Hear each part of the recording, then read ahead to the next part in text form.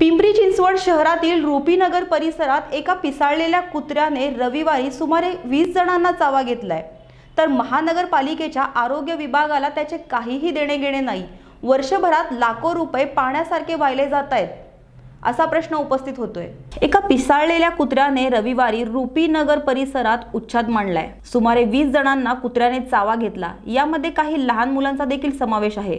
लहान मुले घराच्या अंगणात खेळत असताना त्यांच्यावर झडप घालून कुत्र्याने चावा घेतलाय. यामुळे एकच खळबळ उडाली होती. वर्षभरात अनेक कुत्र्यांवर नसबंदी शस्त्रक्रिया केल्याचं पशुवैद्यकीय विभागाकडून सांगण्यात येतंय.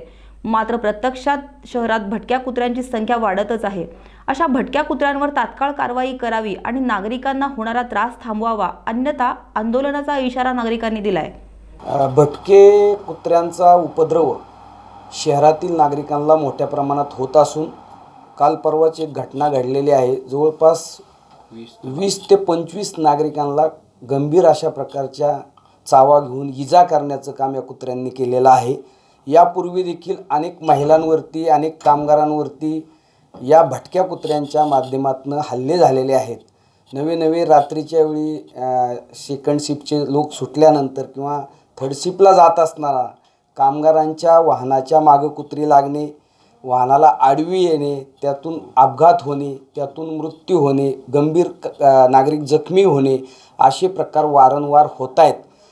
कुत्र भटक्या कुत्र्यांवरती नियंत्रण यावे यासाठी महानगरपालिकेच्या माध्यमातून महानगरपालिकेच्या बजेटमधनं लाखो रुपये खर्च केले जातात.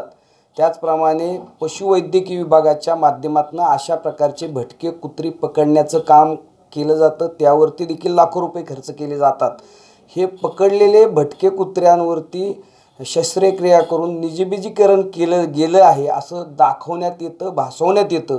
प्रत्यक्षात शहराच्या एका भागातले कुत्रे पकडतात आणि दुसऱ्या भागात नेऊन सोडतात. आणि दुसऱ्या भागात पकडलेले कुत्रे पुन्हा त्याच भागात आणून सोडतात. अशा प्रकारचा उपक्रम करायचा.